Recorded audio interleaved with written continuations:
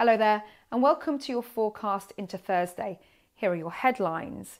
Well, we continue to see a feed of rain or showers, but some places will see a dry day through Thursday with some sunshine. Favoured spots central parts of England and Wales, but showers never too far away. And in fact, that's how we see this evening and overnight.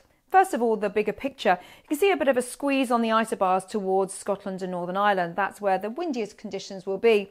The weather fronts here, the warm front indicating more clouds and some persistent rain for a time. And this air trapped between the fronts will allow temperatures to rise quite nicely in shelter through Thursday. However, all change on Thursday afternoon. You can see through Thursday into Friday, another cold front sweeps across, brings with it outbreaks of rain, and the air then turns significantly colder, at least for 24 hours. Before that, though, through Wednesday evening, a little rain across the Channel Islands, perhaps just clipping the south coast. And we see some showery bursts of rain across border regions, northern England, north and western parts of Wales. Towards Scotland and Northern Ireland, it's really the west and the north exposed to that southwest wind where we'll see frequent and heavy showers, particularly for Northern Ireland as well, where temperatures will hold up with more in the way of cloud. But towards the east of Scotland, as well as the Midlands, eastern areas of England, temperatures dipping down to 2 3 degrees Celsius. And across the southeast, with a lighter breeze, you could see some mist and fog patches. First thing on Thursday morning, then.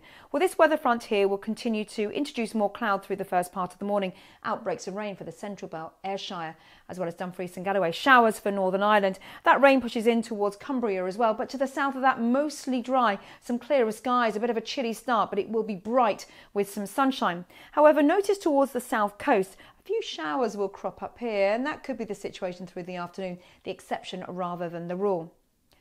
Through Thursday morning into the afternoon, then again there'll be a bit more cloud across the north, and with that, some showery bursts of rain. Driest weather, as I said, will be mid Wales and central parts of England, the Midlands, East Anglia, perhaps just about seeing a shower, and certainly there could be one or two further south than that. But the showers through the afternoon across Scotland and Northern Ireland, particularly the west, will turn heavy with the risk of thunder and hail. A brisk breeze here coming in from the southwest bit breezy across the south coast, Irish Sea coast. Inland, though, a pleasant day as temperatures rise to around 14 or 15 degrees Celsius. So here's that weather front on Friday, that cold front bringing with it showery bursts of rain, stronger winds, and then the cold air really digs in through Friday and into Saturday. So a cold wind, the risk of a widespread frost, the risk of ice through Saturday morning and also some hill snow, but it's very transient. And in fact, through Sunday, you'll notice the temperatures recovering. Again, it will be a windy day with outbreaks of rain. So here's your summary for the next few days. I'll see you later.